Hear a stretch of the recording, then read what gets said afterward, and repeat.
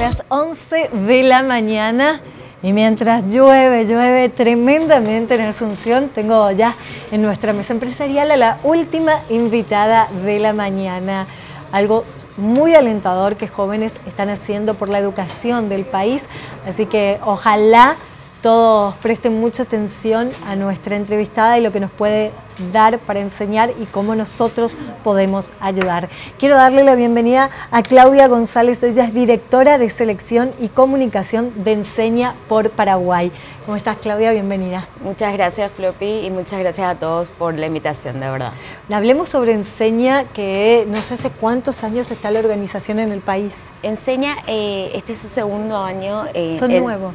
somos muy nuevitos en sala de clases pero se empieza a gestar en el 2017. Eh, lo que hace Enseña por Paraguay es eh, convocar y seleccionar profesionales de cualquier área y de cualquier carrera que quieran enseñar durante dos años en escuelas públicas con las que nosotros estamos trabajando. Y estas escuelas se encuentran en sectores menos favorecidos, entonces eh, es como una inyección de alguna forma al sistema educativo paraguayo que sabemos de, cuál es la situación en la que se encuentra, ¿verdad? Que es tremenda. Totalmente. Es paupérrima.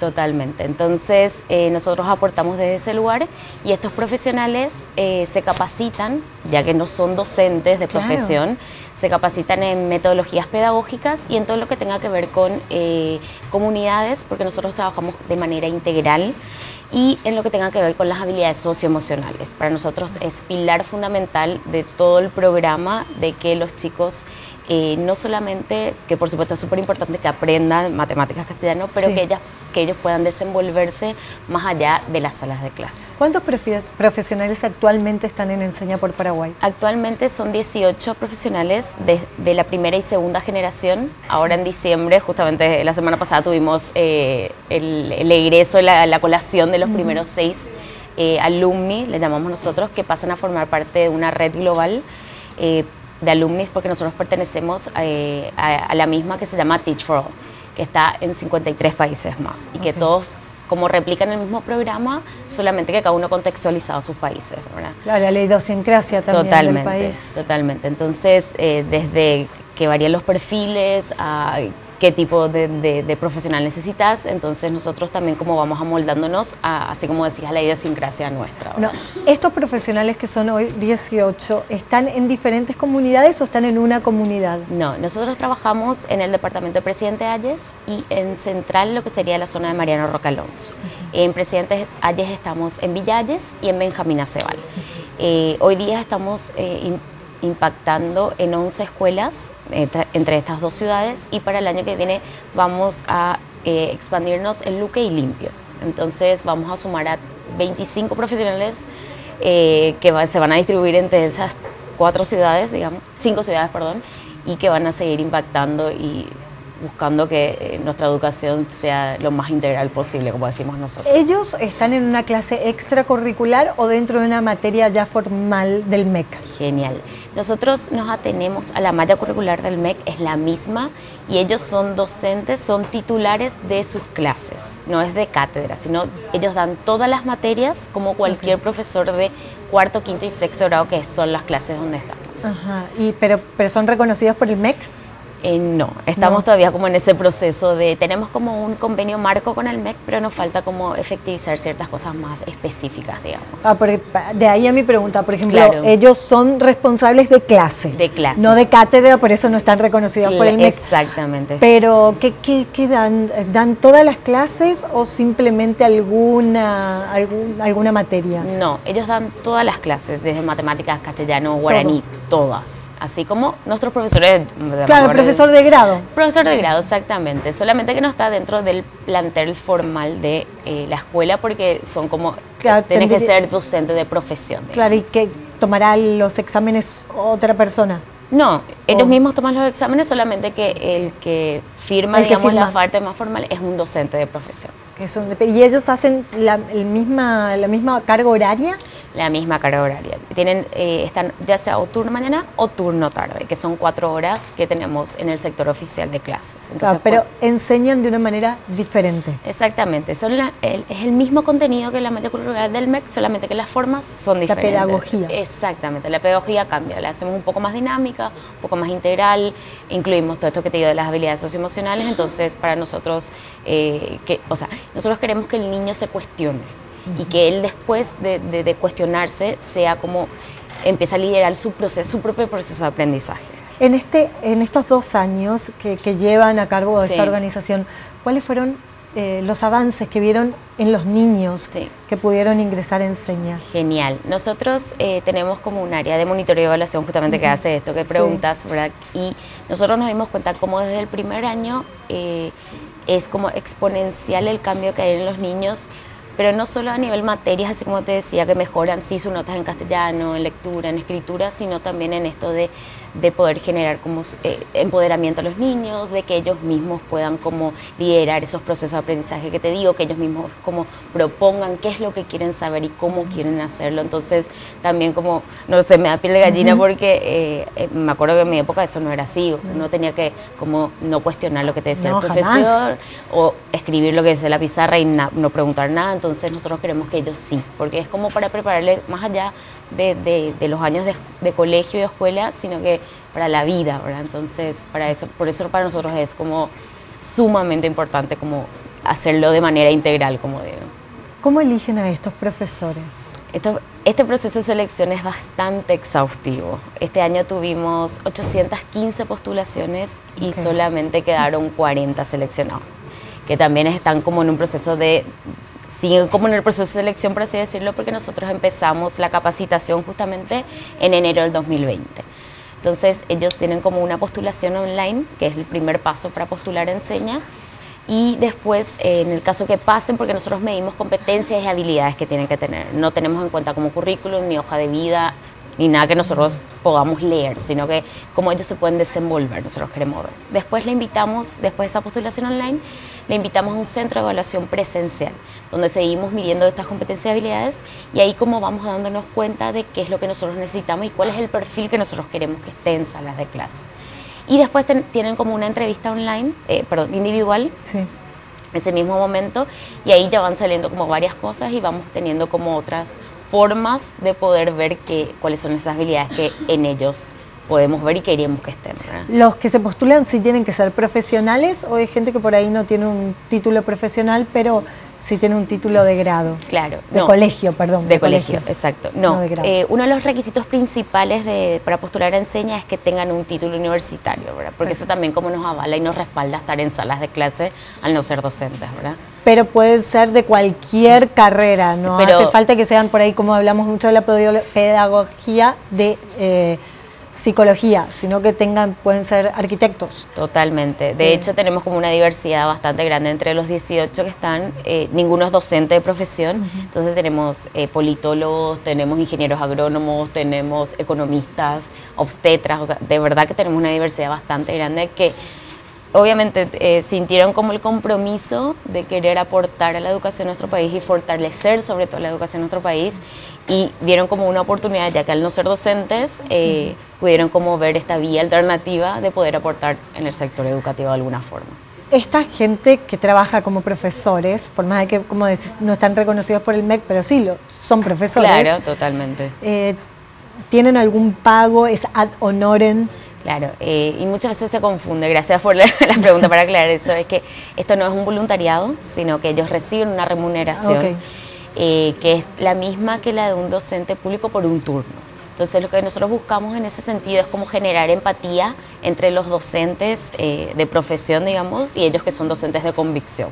Y que más que nada son de convicción porque me imagino que el pago es menor al combustible que puedan utilizar. Totalmente, ellos ganan un salario eh, base. Base, exactamente. Y eh, sobre todo también eh, el diferenciador que nosotros tenemos también es que de estos 18 profesionales, 16 de ellos viven en las comunidades donde fueron asignados.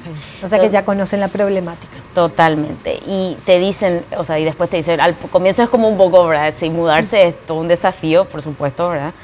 Y después te dicen que entienden por qué em, el mudarse es como un, algo necesario para hacerlo, porque también como generan empatías, por ejemplo, una de las problemáticas en Villalles es que no hay agua.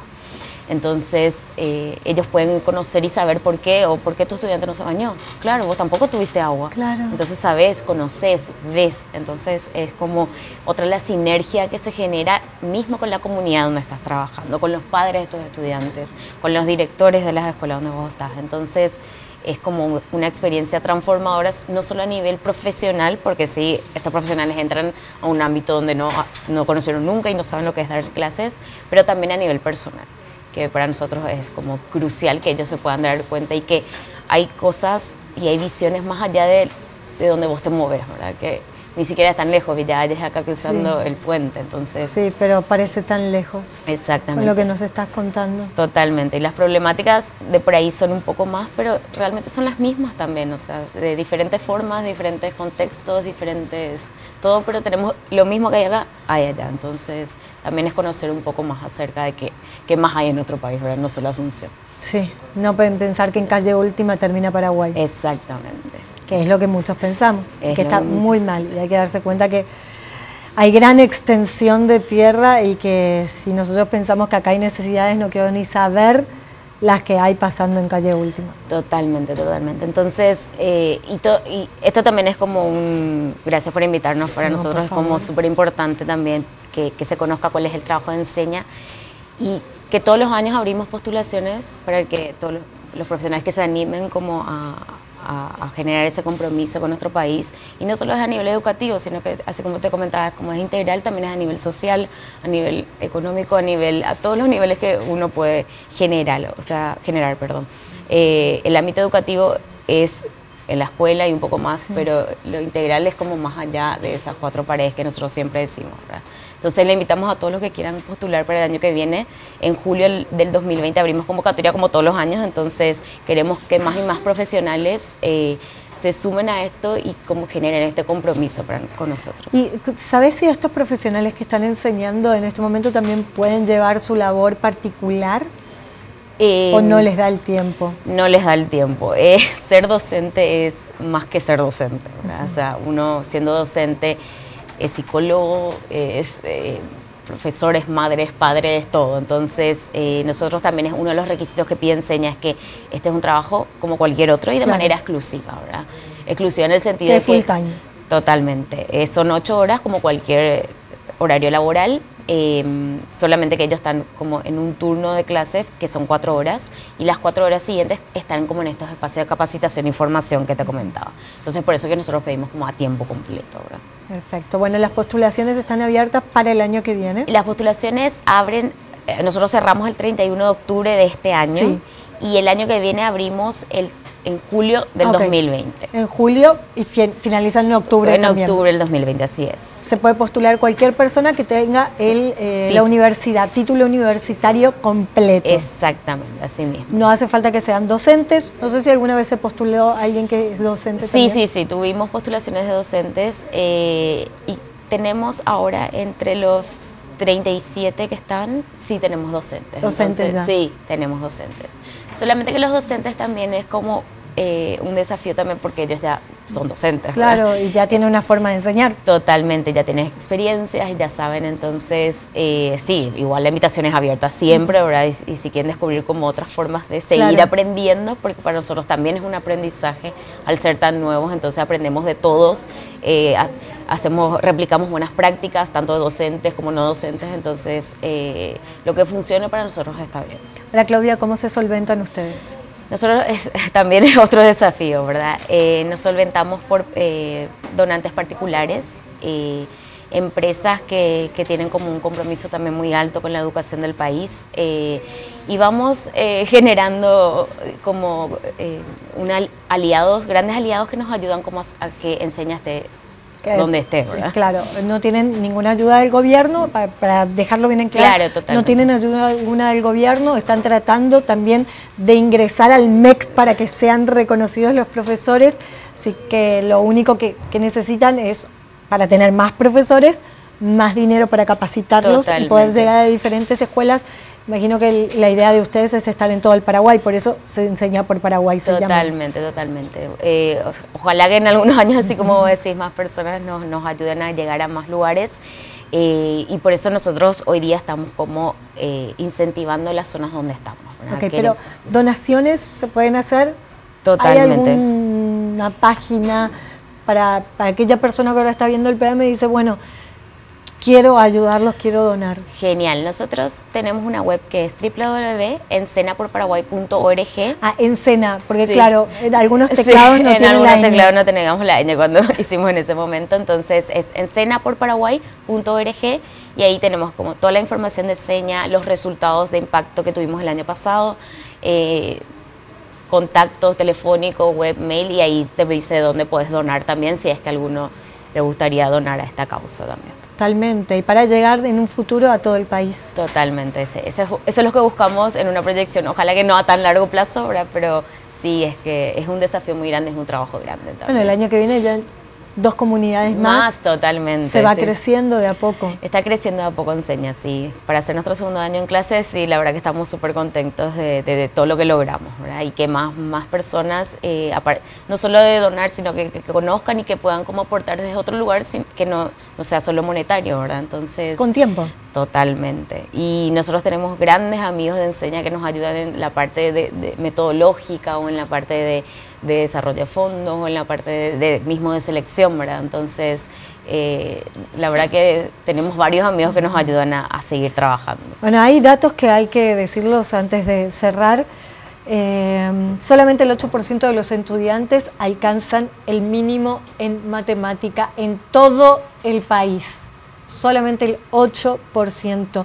Paraguay se mantuvo entre los últimos puestos en calidad educativa. ¿Saben a dónde llegamos? Al puesto número 135 de 140 países. Hay una problemática en serio en educación y esto afecta a qué? A todos, sobre todo a los chicos con clases más vulnerables. Cuando hablamos de desigualdad, hablamos de eso, de que por ahí tu hijo tiene la suerte de poder estudiar en el mejor colegio de Asunción y luego de ir a estudiar a Estados Unidos o Inglaterra. Pero la mayoría de los chicos no tienen ni la opción de terminar el colegio, porque aparte, acá el colegio no es obligatorio y tienen que salir a trabajar. Entonces, cuando hablamos de igualdad real, hablamos de que todos los chicos tengan la misma oportunidad de aprender. Un 8% solamente entiende matemáticas. 8%. Estamos en el puesto número 135. Si eso no te asusta, eh, bueno, entonces yo creo que no tendría que hablarte nunca más. A mí esto me asusta y hay jóvenes que dijeron, vamos a hacer algo. Así que nada más que felicitarte. Gracias. Y ojalá que esto llegue a todo el país realmente, Claudia, de que de aquí a unos años me digas, mira Florencia, llegamos a todo el país. Así es, eso, muchas gracias otra vez de nuevo, porque eh, esto es como un trabajo hormiga realmente. Eh, tener estos espacios para nosotros es sumamente gratificante porque nos permite como mostrar justamente estas problemáticas que estás contando, ¿verdad? Eh, no solamente está plasmado en una hoja, sino que nosotros lo vemos todos los días. las cosas que vos ves no deben ser nada de lo que yo acabo de leer. Totalmente. Entonces, eh, nosotros sabemos que la educación es base, es base para todo y para construir ese país equitativo que buscamos, como vos decís, ¿verdad? Que todos tengamos las mismas oportunidades y que todos podamos elegir qué ser y qué hacer en nuestras vidas. Eso es para nosotros crucial y es como base de todo nuestro trabajo. Claudia, fue un placer entrevistarte, espero haber estado a la altura. No, por favor, más que a la altura. Gracias, a vos. Bueno, espero volverte a ver el año que viene. Sí, sí, Eso también. Nos vamos a un corte, ya volvemos.